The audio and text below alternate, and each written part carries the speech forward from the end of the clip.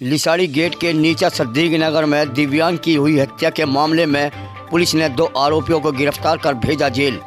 जी हाँ, आपको बता दें कि नीचा सद्दीक नगर में भाइयों के विवाद को देखने पहुँचे युवक की पीट पीट कर हत्या कर दी गई थी, जिसमें पुलिस ने चार लोगों के खिलाफ मुकदमा दर्ज किया था।